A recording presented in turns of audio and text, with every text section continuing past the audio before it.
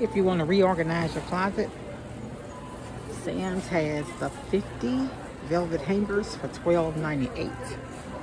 I was able to use these and reorganize my closet and it gave me almost twice the amount of space. See how small the hangers are? And your clothes don't slide on them. 50 pack, $12.98. You want to reorganize your closet, try these velvet hangers at Sam's. Much love, bye.